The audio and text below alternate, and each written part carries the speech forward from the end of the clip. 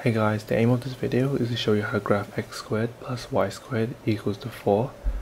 So first thing to note is that this is the general form for the equation of a circle where we have x squared plus y squared equals to r squared, where r stands for the radius. So before we graph this exact equation, I want to show you why this is an equation of a circle. So say you have a line here, which is x, and a line here, which is y. This line over here will give you your radius. So x, y, and r. And from Pythagoras theorem, you can see that x squared plus y squared equals to r squared.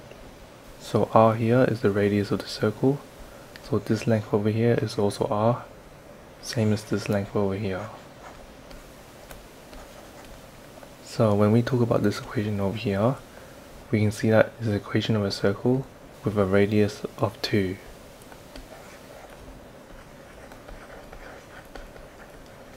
Because for the general form we have r squared, and in this case r squared equals to 4, so r is just 2.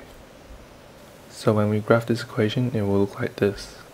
A circle with origin 0, 0, and a radius of 2.